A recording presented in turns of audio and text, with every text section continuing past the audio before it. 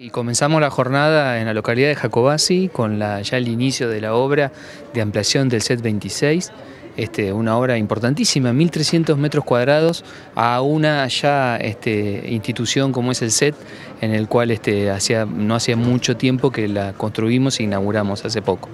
Eh, posteriormente nos dirigimos a Maquinchao, en donde hicimos la apertura de la licitación de lo que es la provisión de energía eléctrica para un nuevo loteo en la localidad de Maquinchao, 130 nuevos lotes este, por un monto de 3.200.000 pesos, entonces lo importante para destacar y a toda la comunidad comunidad de la línea sur, son cinco empresas las que se presentaron para competir por esa obra, con lo cual hace a, bueno, a, la confianza que se tiene en el gobierno provincial y sobre todo a estas ganas de venir de las empresas a trabajar en infraestructura en la línea sur.